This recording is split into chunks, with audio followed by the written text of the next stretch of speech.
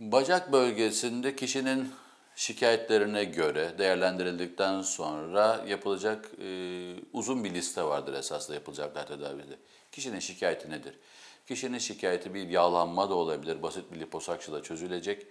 Kişinin e, şikayeti uzuv kısalığı da olabilir, çok e, geniş ortopedik ameliyatlara ihtiyaç gösterebilecek.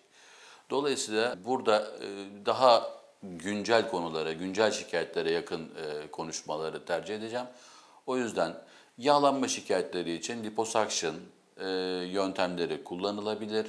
Bacak bölgesindeki eğrilikleri düzeltmek için zaman zaman protezler kullanılabilir. Bacak protezleri vardır, bacak protezleri kullanabilir. Bacaklarda varisler olabilir. Varisleri tedavi için lazer ve diğer yöntemler vardır.